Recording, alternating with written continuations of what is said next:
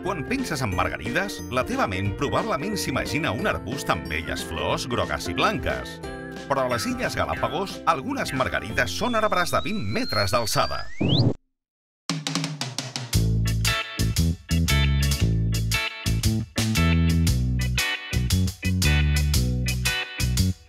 La margarida gegant.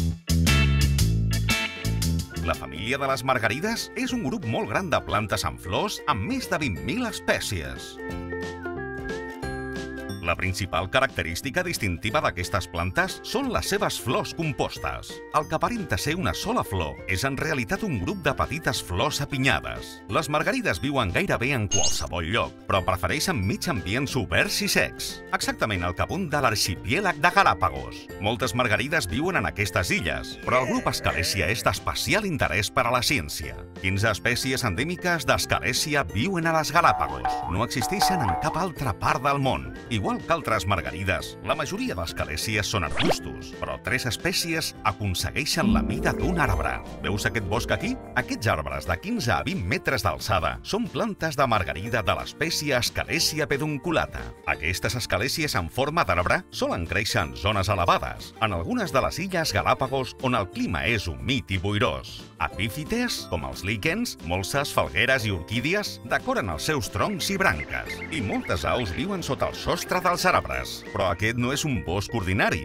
Els arbres del bosc tendeixen a créixer lentament i viuen durant centenars d'anys. Però l'escalèsia pedunculata pot créixer 5 metres en només un any però no durarà més de 15 o 20 anys. Una altra característica sorprenent és que tots els arbres d'aquest bosc són de la mateixa edat.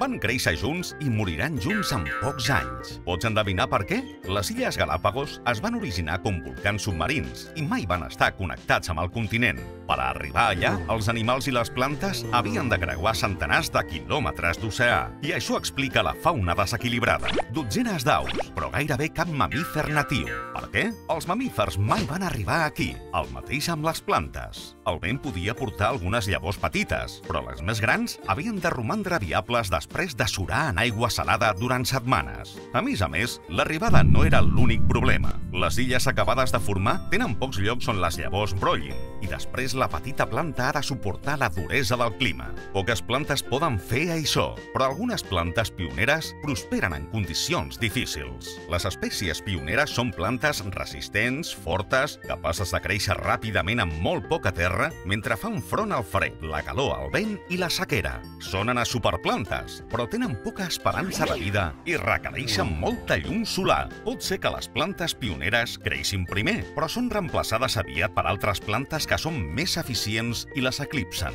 La majoria de les plantes margarides són espècies pioneres. Els científics creuen que les escalèsies de les Galàpagos són les descendents d'una afortunada margarida que va arribar a l'arxipièlag. Va sobreviure i es va diversificar adaptant-se a diferents entorns. Algunes es van convertir en les espècies de la mida d'un arbre que veiem avui en dia. Creen boscos a les humides zones muntanyoses. Van tenir èxit perquè pocs arbres veritables van arribar a competir amb elles. No obstant això, algunes pistes encara ens mostren que els arbres escalèsia són només arbustos disfressats. Els seus troncs són tous per dins, creixen ràpidament i moren joves. I tots els arbres tenen la mateixa edat perquè la seva pròpia ombra no deixa que les escalèsies joves creixin sota el cobricel arborit. No obstant això, quan el bosc vell s'enfonsi, un nou lot d'escalèsies brollarà ràpidament, reiniciant el cicle. No és això increïble? Déu va dissenyar plantes i animals amb la capacitat de prosperar, fins i tot en els llocs més hostils de la Terra. I a tu, què et sembla?